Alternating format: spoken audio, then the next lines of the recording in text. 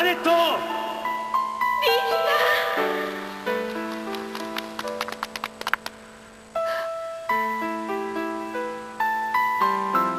ビ怪我はないか？ーいえあなたは？何平気さ？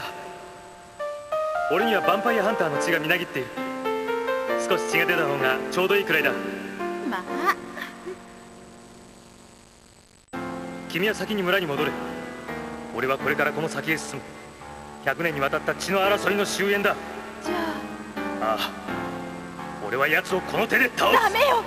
危険すぎるわ。すだがそれが俺の宿命なんだよ。それに奴の血が俺を呼んでいるんだ。ここまでの道は安全だ。早く行け。ビヒタ待って。ビヒタ無事に？無事に帰って？お願い。